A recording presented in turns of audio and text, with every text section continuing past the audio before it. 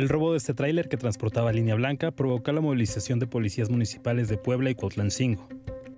De acuerdo con las autoridades, el tráiler fue robado en la caseta de Amozoc.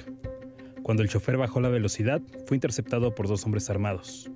De ahí, los presuntos ladrones se dirigieron a San Lorenzo en Mecatla, donde descargaron casi medio millón de pesos en mercancía. La empresa denunció este movimiento extraño, por lo que policías de Cuautlancingo identificaron el tráiler y comenzaron con la persecución. Al llegar al periférico de Puebla, se sumaron policías municipales de esa ciudad.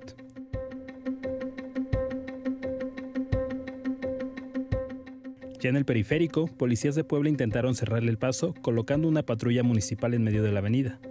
Sin embargo, los ladrones no pararon y chocaron contra ella. Esto hizo que perdieran el control del tráiler y se estrellaran con los bloques de cemento que dividen la vía. El tráiler pasó al sentido contrario del periférico y chocó con un suru negro.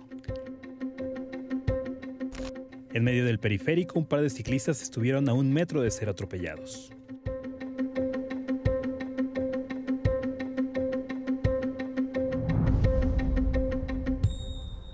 Los dos asaltantes fueron detenidos, un policía que estaba en la patrulla. ¿Quién habrá tomado la decisión de poner una patrulla para detener a un tráiler que venía a esa velocidad? Bueno, uno de los policías que estaba ahí resultó herido y las tres personas que iban en el sur negro también están heridas.